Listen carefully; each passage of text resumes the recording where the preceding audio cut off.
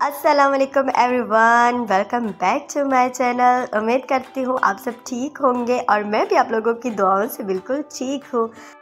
तो आज मैं आप लोगों को बताऊँगी परफेक्ट तरीके से चावल बॉईल कैसे होते हैं, जो आज तक किसी ने नहीं बताया होगा, और साथ ही चटपटी सी फ्राई फ़िश करने का तरीका, जो बहुत ही स्पाइसी और टेस्टी बनती है। तो चले जल्दी जल्दी देखते हैं कैसे बनती है ये रेसिपी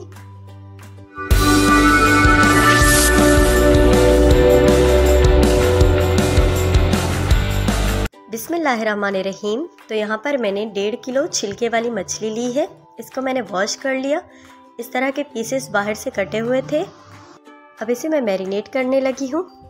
एक टीस्पून हल्दी पाउडर शामिल कर लिया मैंने इसमें। एक टीस्पून साबित कुटा हुआ धनिया। टू टीस्पून लाल मिर्च पाउडर। आप लाल मिर्च पाउडर अपने हिसाब से भी डाल सकते हैं। एक टीस्पून नमक। अब इसमें मैं शामिल करूँगी टू टीस्पून लेमन का जूस क्वार्टर टी स्पून गरम मसाला और अदरक लहसुन का पेस्ट एक टेबल स्पून मैंने यहाँ पे शामिल कर लिया है। फ्रेश कड़ी पत्ता टू टीस्पून क्वार्टर कप हरा धनिया हरा धनिया शामिल करके इसको मैं मिक्स कर लूँगी अच्छे से।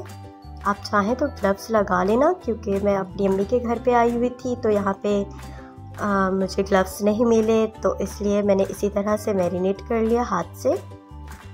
अब शामिल करूँगी इसमें टू टीस्पून ऑयल तेल को हम बीच में डाल के दोबारा से मिक्स कर लेंगे अच्छे से।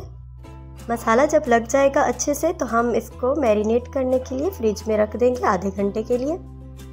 अब दूसरी जगह मैं यहाँ चावल ले रही हूँ। चावल मैंने तीन कप लिए हैं। आप याद रहे आपको कि अगर आपने तीन कप लिए हैं तो तो पानी इसमें कितना होना चाहिए? तो वो भी मैं आपको तरीका बताऊँगी। तो ये ज़रा वॉश का तरीका आप देख लें कि मैं किस तरह वॉश करती हूँ। पहले हम इसे अच्छे से नल के पानी से दो तीन दफ़ा वॉश कर लेंगे। इसी तरह हाथों में रख के चावलों को अच्छे से साफ़ कर लेंगे ताकि इसमें कोई भी डस्ट है, कचरा है, सब रिमूव हो जाए।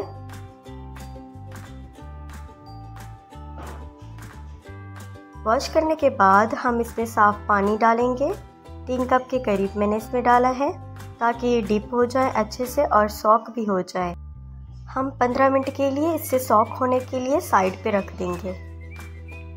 और फिर यहाँ पर एक कप के करीब मैंने ऑयल लिए है, उसको मैंने गरम करके इसमें पीसेस शामिल कर रही हूँ मछली के और फ्लेम को मीडियम लो करके 10 मिनट के लिए छोड़ देंगे। अब आपको अच्छे से याद होगा कि वहाँ मैंने तीन कप चावल लिए थे तो यहाँ पर मैं छः कप पानी की लूँगी। याद रहे कि जितना हमारे पास चावल होंगे, उसकी डबल क्वांटिटी में पानी होगा। पानी गर्म होते ही हम इसमें शामिल कर लेंगे अपने चावल। अच्छे से चावल बीच में डाल लेंगे। अब इसमें मैं शामिल करूँगी दो टीस्पून के करीब नमक।